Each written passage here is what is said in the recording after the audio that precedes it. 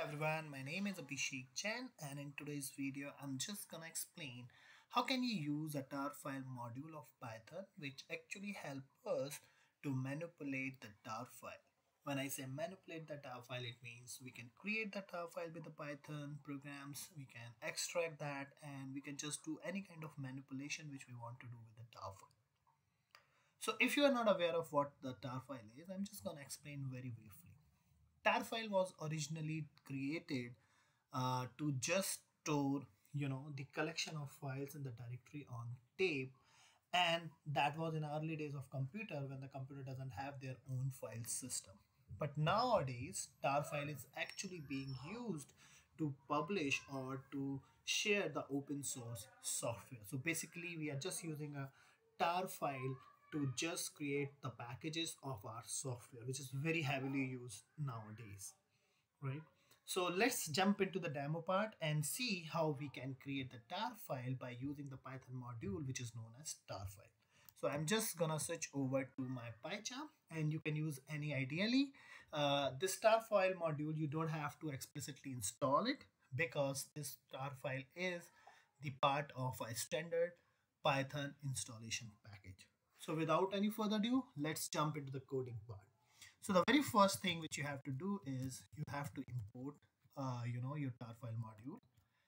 Then, so the very first thing which we're gonna do with the help of this tar file module, we're gonna just create a tar file with name tutorial one dot tar because dot tar is the extension for the tar file which is basically a tape archive file okay? So let me just give the location. Uh, to provide the location you can give any location where you want to store it. But what I'm gonna do is I'm just gonna import another module of Python which is pathlib and import path.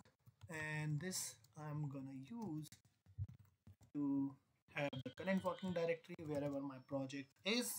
Uh, it will just pick that location and I want to join this with let me just create a tutorial dot one dot tar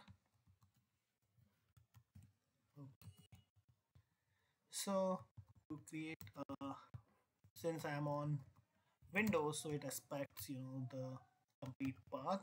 So I'm just gonna give this and let me just rename this file. Let's go file to file name and let me just print so that we can see where this get created okay so i have this file now now just to create this the only thing which i have to do is just open and i have to provide this file name. Since we want to create it so i'm just gonna open this in a write mode. And let me just save this underscore object. Okay and then i can I have to close this. Okay so if I just run this uh, so it just gave me in D drive. This is the folder name then this is project our file demo and tutorial1.tar so let me just go there. I'm there. And now I have this tutorial one. Let me just delete this. Let me just run this one more time now we have this tutorial one. So if i just open this it's unknown because it doesn't have anything you know. So now let me add some files to it because tar file is basically to combine multiple files in the directories and the folder into the one file that can be uploaded to the any source version controller or any cloud storage right? So tar file dot there's a function name add and i can just give the name of uh, my file. So let me just have file underscore to add to tar and I'm just gonna pick you can just pick any file which you want to add into the tar so let me just have a mm, sample dot json. Okay. So I have to create a sample dot json over here right? So let me just create a file.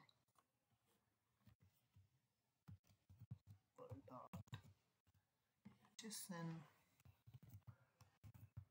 let me put some text. Tag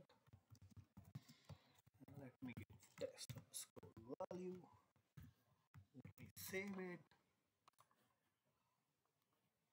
okay and then I have to just give this file here and let me save it. Let me run this one more time. Oops uh, I don't have to use this star file. Basically I have to use this object so let me just correct this. Save it. Okay uh, let me just check. Okay now I can see this. I have this file inside okay? Sample.json okay? Now if I want to add something else let me just copy these two line one more time. And rather than having a JSON I can have XML okay? Uh, and then I have to create this XML file.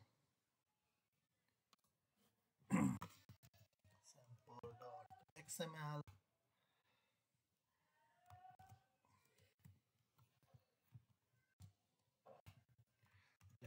save it. And let me just delete this first. And rerun this code. And let me just come here. Now I, have, I should be having two things. Okay sample.json sample.xml that's good. And the other thing which we can do with this uh, we can always verify this tutorial one which is file name whether this is the correct tar file or not. Uh, so do that. In tar file we have is tar file function. I can pass this name. After closing it I can just run it and I can just print it and it is going to give me the boolean value whether it's true or false. If it is star file then it is going to print true. Otherwise it is going to be false. It's true. And there are many uh, functions you know within the star file module uh, which we're gonna see in a next section where we're gonna just uh, see how we can extract the various files and uh, we're just gonna see some more advanced feature where we're gonna add you know the, some folders and some other files as well and then we just gonna do it.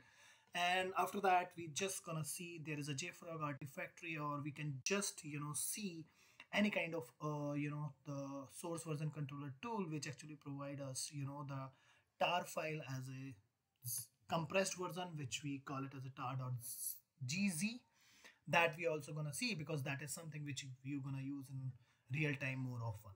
So that's it from my side for this particular video. If you have any comment or any feedback please feel free to put that in a comment section. And if you want me to cover some more advanced feature around this tar file module please do that. Please put that as a comment in the comment section and i would love to create the video for you so that it would be helpful for you. So thanks for watching this and stay healthy and keep learning new things